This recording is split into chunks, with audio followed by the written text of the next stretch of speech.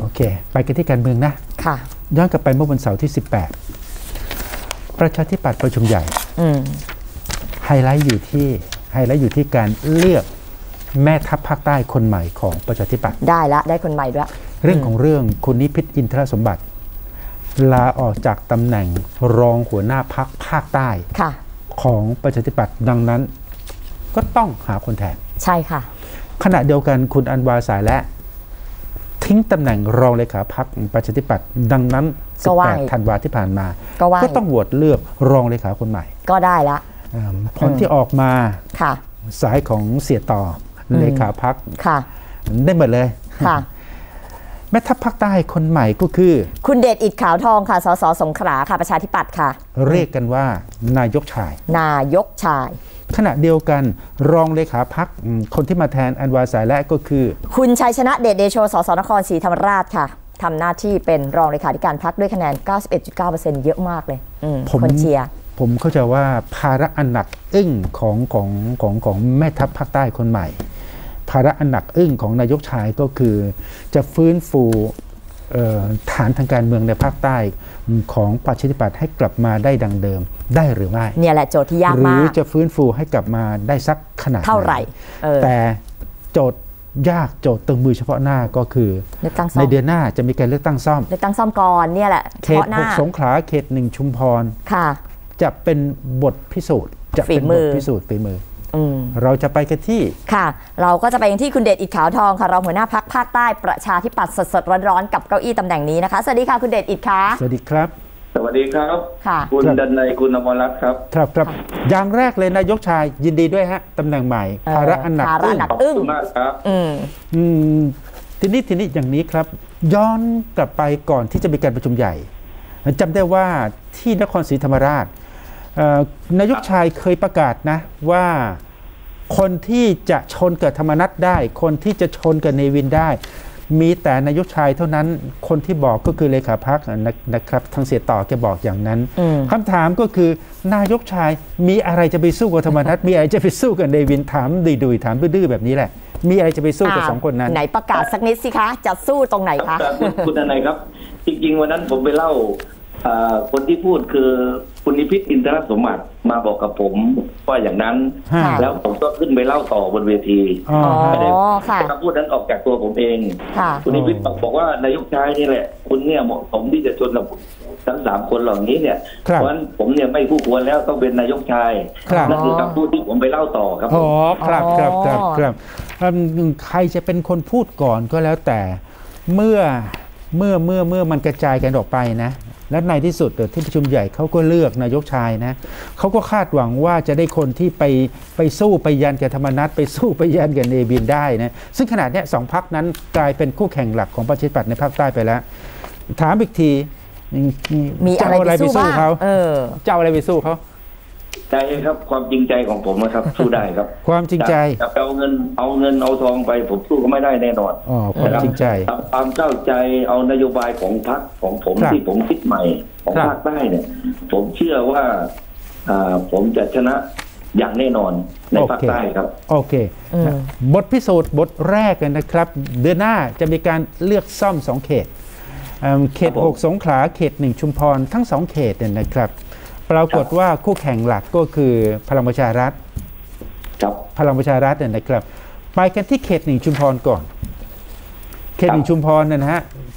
เอิ่มมีความมั่นใจขนาดไหนครับ ผมก็ได้หารือกับคุณลูกหมีกับคุณลูกช้างนะครับครัเขาบมั่นใจเขาบอกว่าพี่สบายใจได้เห็นผมร้อยเปอร์เซ็นต์อืมนะครับอืซึ่งมซึ่งผมยังยังไม่ได้ไปด้วยตัวเอง ตอนนี้ก็หาข้อมูลครับจากรอบข้างก่อน แต่ผครัมบมั่นใจว่าชนะ นะครับผมครับมั่นใจว่าเพราะว่าความคิดที่พี่น้องชาวใต้เลือกพลังประชารัฐรอบที่แล้วเนี่ยกับครับวันนี้เนี่ยความคิดไม่เหมือนกัน วันนั้นก็คาดหวังหลายอย่าง แต่ครับวันนี้เขารู้แล้วว่าสิ่งที่คาดคาดหวังนั้นสมหวังหรือไม่โอ้นะครับอืมเพราะฉะนั้นคนใต้มีศักยภาพในในทางความคิด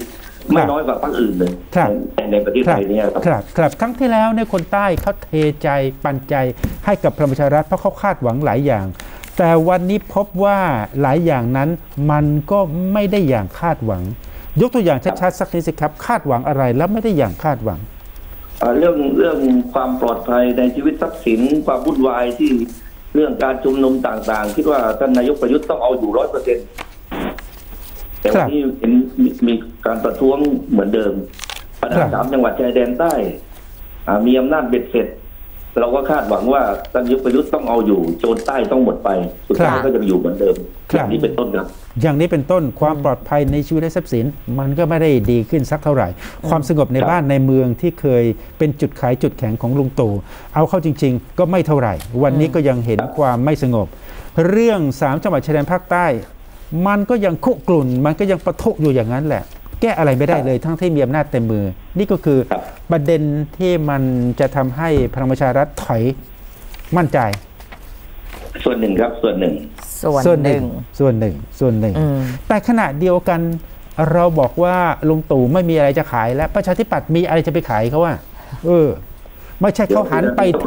ไปเดี๋ยวเขาจะหันไปเท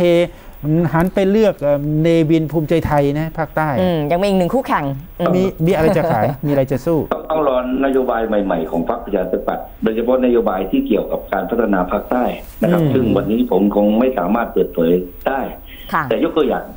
ผมเนี่ยฮะจะทำให้ยางพาราเกินกิโลละร้อยบาทให้ได้ ครับยางพาราเกินร้อยซึ่งหลาคนอืมยกตัวอย่างครับฮะซึ่งหลายคนคิดว่าเป็นไปไม่ได้ฮะค่ะแต่อีกไม่ช้าไม่นานเนี่ยผมกำลังทำข้อมูลทำรายละเอียด พอเปิดอืมออกไปต้องจับผมต้องจ้าจ้าบนะยางพาราเกินร้อยต้องจ้าบอืมหรือสองผมต้องเอาเอกราชทางสิ่งแวดล้อมกลับคืนไปให้พี่น้องชาวใต้อืมทำไมผมใช้คำว่าเอกราช เราค่ะใช้คำว่าเอกราชเหนือดินแดน เราซื้ออมอาวุธยุทโธปกรณ์ถามว่าเราตายด้วยสงครามไหมไม่มีเลย อืมแต่วันนี้เราตายด้วยสิ่งแวดล้อมเป็นพิษตายด้วยโรคมะเร็ง เรามีโรงงานเข้ามาอยู่ในประเทศเราเยอะเราคิดว่านั่นคือความเจริญแต่เราลืมดู ไปว่าสิ่งแวดล้อมเราถูกทำลายไปโดยสิ้นเชิงระบบนิเวศถูกทำลายสิ้นเชิงวันประชาธิปัตย์จะเอาเอกราชตามสิ่งแวดล้อมกลับคืนมาให้ กับพี่น้องชาวใต้ ประกาศอย่างนะที่เป็นต้นครับประกาศนะประกาศได้ ผมว่าชาวบ้านเขาขอรูปธรรมเอากันชัดๆเลยนะเฉพาะหน้านโยบายใหม่ของของของประชาธิปัตย์นโยบายของเออนายกชายก็คือ จะไม่เอานิคมชนะใช่ไหม เอาผมยังไม่พูดถึงเรื่องนั้นครับ นิคมชนะเนี่ยมันต้องดูลึกไปถึงรายละเอียด แต่ถ้าเกิดทำร้ายสิ่งแวดล้อมอาผลศึกษาออกมาแล้วว่าสิ่งแวดล้อมยังเสียหายเนี่ย ผมไม่เอาแน่นอนครับนะครับค เพรับราะว่าเราไม่ใช่พัฒนาไปอีกด้านหนึ่งเราเสียอีกด้านหนึ่งอย่างนี้ผมไม่เอา ครับนะคครัรับบแต่ว่าวันนี้เร็วเกินไปที่จะให้ผมตอบว่าเอาหรือไม่เอาอะครับอืมเออที่ถามเรื่องนี้เพราะว่าตัวท่านนายกชายก็เป็นคนสงขลาอยู่แล้ว เห็นปัญหามาตั้งแต่ต้นเนี่ยนะครับ แทบจะไม่ต้องบอกกล่าวไม่ไม่ต้องเขย่าขวดกันอีกเลย ก็รู้อยู่แล้วมันเกิดอะไรขึ้นเอ่อกลุ่มที่เขาจะไปลงทุนในเขตชนะ เอาเข้าจริง ๆ เราก็เพราะว่าเขาไม่ได้ลงทุนแค่ชนะเขาลงทุนทั้งจังหวัดเลยก็ว่าได้มีท่าเรือตั้ง สามท่าเรือ มีครับนิคมหนึ่งนิคม มีโรงไฟฟ้าหนึ่งโรง เมื่อมีสามท่าเรือมีหนึ่งนิคมมีหนึ่งโรงไฟฟ้า สิ่งที่ตามมา มันต้องสร้างระบบรางเชื่อมโยงเอ่อทุกจุดเข้าหากันผ่ากลางสงขลาเลยคำถามอีกถามอีกทีนะครับ ในมุมมองของนายกชายคิดว่าโอเคไหมโครงการนี้ คือถ้าดูผิวเผินน่าจะโอเค แต่ถ้ามองให้ลึกอะนะครับผมครับต้องมองให้ลึก เพราะสิ่งแวดล้อมเนี่ยมีมูลค่ามหาศาลครับ แต่ถ้ารบกวนสิ่งแวดล้อมวักต่อความเป็นอยู่ของพี่น้องประชาชนเนี่ยผมครับไม่เอาด้วยแน่นอนครับนะครับเพราะฉะนั้นวันนี้ผมยังไม่ตัดสินใจโอผเคมกำลังศึกษารายละเอียดอยู่ครับขอศึกษาก่อนนะครับอืมที่ชุมพรเอิ่มเอิ่มเอิ่มเจ้าภาพหลักก็น่าจะเป็นเอ่อลูกหมีกับลูกช้าง ต้องดูแลหลานของเขาอะนะฮะหลานของเขาเนี่ยสอบตกไม่ได้อยู่แล้วล่ะอันนี้ชัดเจน ย้อนกลับมาที่เขต 6 เขต 6 สงขลาปรากฏว่า คุณน้ำหอมเนี่ย สู้กับคนกันเองอืมไปสู้กับลูกเพื่อนของพี่ถาวรอืมสู้กับอนุพงศ์ซึ่งโบวันสเนี้ยโบสคุณโบสอืมซึ่งซึ่งโบสเขาก็สวมเสื้อพลังประชารัฐเนี่ยนะครับเอ่อประเมินสภาพในพื้นที่แล้วเป็นไงฮะสู้กับสู้กับคนกันเอง ผมขออนุญาตชี้แจงนิดนึงนะครับว่าอาทิตย์ที่แล้วเนี่ยคุณนันายบอกว่าอ่าคุณโบ๊ทจะมาลงประชาธิปัตย์และผมไปแย่งพื้นที่ห้าผห้ามขออนุญาตอธิบายตรงนี้นิดนึงอ๋อได้ได้ได้เชิเชิญญเชิญค่ะเชิญเชิญเชิญเชิญใช่ไหมครับใช่ค่ะเชิเชิญญค่ะเชิญ จริง ๆ เนี่ย ผมไปติดต่อคนอื่นในเขตหกฮะอย่างน้อยสองถึงสามคนนะครับครับ แต่ปรากฏว่าเขาบอกว่าเขาเชียร์ประชาธิปัตย์แต่เขาไม่สามารถเป็นสมาชิกสภาผู้แทนราษฎรได้ครับเขามีภารกิจเขามีหน้าที่เขาเป็นนักธุรกิจนะครับอืมสุดท้ายเนี่ยนะครับอืมผมก็ติดต่อลูกของท่านนิพนธ์บุญยมณีหรือน้องค่ะเพชรอืมบอกว่าพี่นิพนธ์ให้น้องเพชรมาลงก็ได้นะ แต่ผมอืมเป็นผอการเลือกตั้ง และผมอืมมั่นใจว่าชนะท่านนิพนธ์ก็ไม่เอาอืมใช่ไหมครับอืมสุดท้ายเนี่ยผู้นำท้องถิ่น นายกอบตนายกเทศบาลเกือบทั้งหมดค่ะเข้าชื่อกันครับเพื่อทำหนังสือถึงหัวหน้าพรรคประชาธิปัตย์ครับทำหนังสือถึงท่านเลขาธิการพรรคประชาธิปัตย์ว่า ครับคราวนี้เนี่ยเขาขอร้องประชาธิปัตย์ว่าให้พวกเขาเหล่านั้นน่ะส่งสสในนามของพวกเขา อืม แล้วตอนนี้ก็เป็นมติของพรรคประชาธิปัตย์อืมเพราะฉะนั้นผมในฐานะที่เป็นคนกลางนะครับ จำเป็นอย่างยิ่งที่จะต้องปฏิบัติตามพรรคโอเคและปฏิบัติตามมติของพี่น้องประชาชนในพื้นที่คโอรับเคเอาเป็นว่าเอาเป็นว่ากรณีที่คุณน้ำหอมพูดกันตรงๆ ก็พันยาของนายกชายจะลลงงเขเขตตหกนั้นไม่ได้มาจากนายกชายแต่มาจาก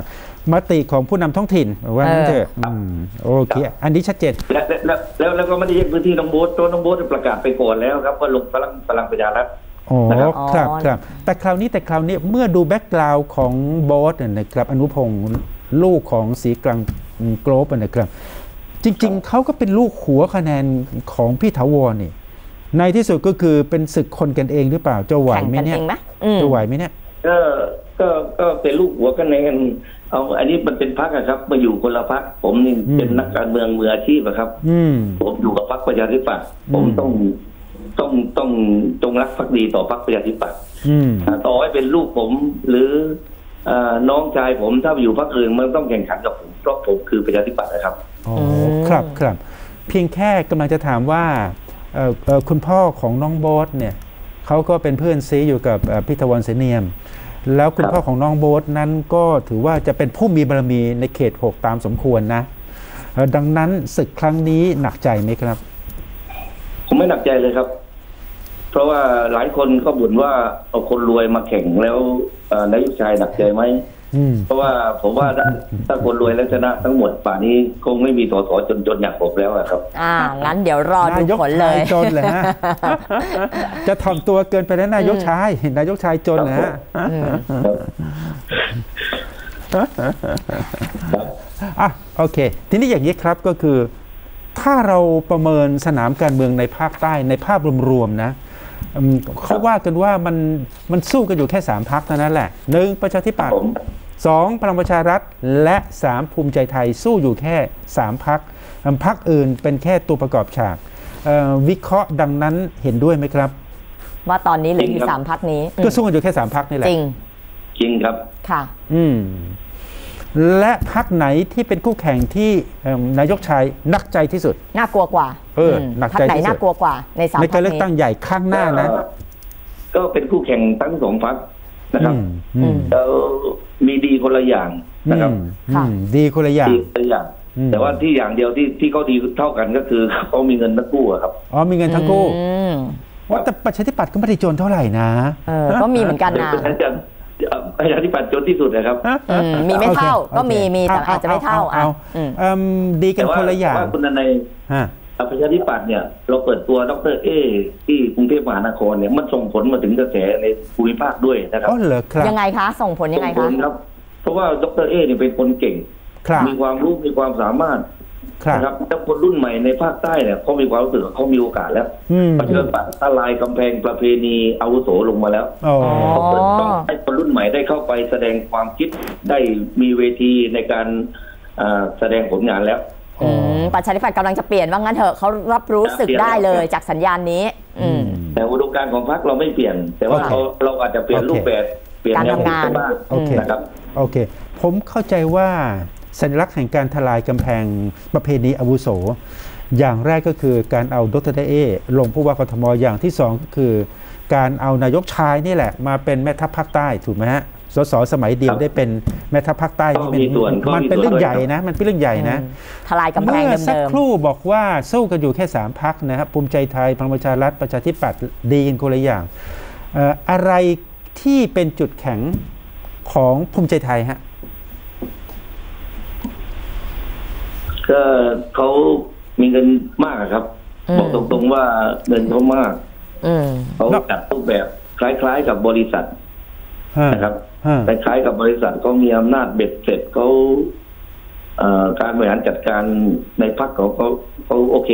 นะครับ ผมคิดว่าอย่างนั้นนะครับ ผมคงคงไม่ไม่วิจารณ์มากไปกว่านี้ครับ คือคือคืออย่างนี้อย่างนี้ไอ้เรื่องเงินเยอะๆเนี่ย หลายพักก็มีเงินเยอะๆ แต่ว่าไอ้เงินเยอะๆไม่ได้เป็นปัจจัยชี้ขาดความสำเร็จทางการเมืองเสมอไปนะใช่ครับใช่เอิ่ครับมทางภูมิใจไทยทางภาคใต้เนี่ยจับประเด็นว่านายกชัยมองว่าระบบการจัดการของเขาเนี่ยเป็นระบบใช่ไหมเป็นระบบแข็งแรงมีมีระบบการใช่ไหมจัดการทางการเมืองของเขาเนี่ยเป็นระบบแข็งแรงชัดเจน มีเอกภาพรวมศูนย์ ถูกต้องไหมครันะบครับ ดังนั้นดังนั้นอืมจุดแข็งของภูมิใจไทยก็คือความเป็นหนึ่งเดียว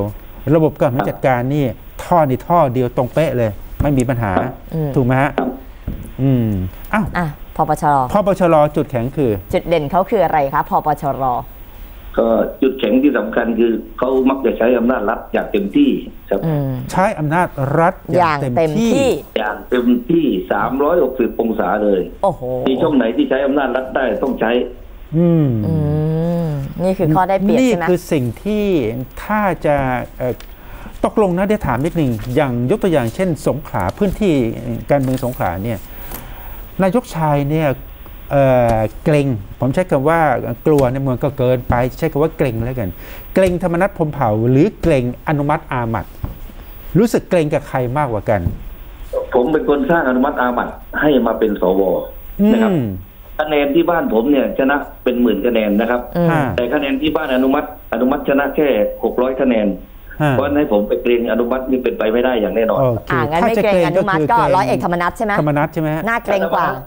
ธรรมนัฐก็เป็นเพื่อนผมอะนะครับอืมแต่ว่าเราเป็นนักฟุตบอลอาชีพถึงอืมเวลาเราเตะเราแข่งกันอย่างเต็มที่โอเคอืมโอเคเสร็จจากภารกิจนกหวีดเป่าหมดเวลาเราคือเพื่อนก็มาเป็นเพื่อนกันได้ วันนี้ผมไม่เกรงใจใครทั้งสิ้นอืมโอเคในฐานะนักฟุตบอลที่โอเคลงไปเล่นอยู่ในสนามครับแล้วอะครับ สู้เต็มที่อะโอเค สรุปนะภาคใต้เนี่ยถ้าพูดถึงภูมิใจไทยอืมคนที่นายกชัยจะกังวลมากที่สุดเห็นจะเป็นเอ่อเจ๊เปียนั่นแหละ และถ้าพูดถึงพลังประชารัฐ ถ้าจะมองกันสักนิดหนึ่งก็คงจะต้องมองเอ่อเอ่อผู้กองธรรมนัฐนั่นแหละ ถูกไหมฮะ ครับ โอเคอะเอาละครับ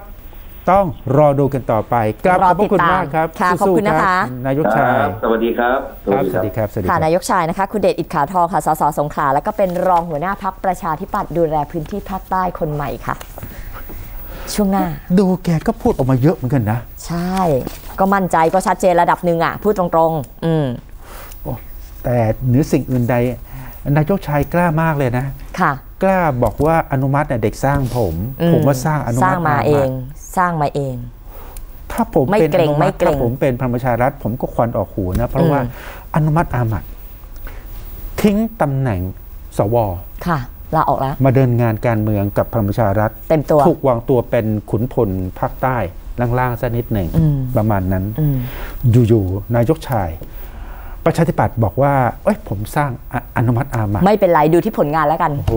ดูที่ผลงานข้างหน้าเลือกตั้งจะเป็นบทพิสูจน์เอง ใครสร้างใครใครได้เบรกหใครน้า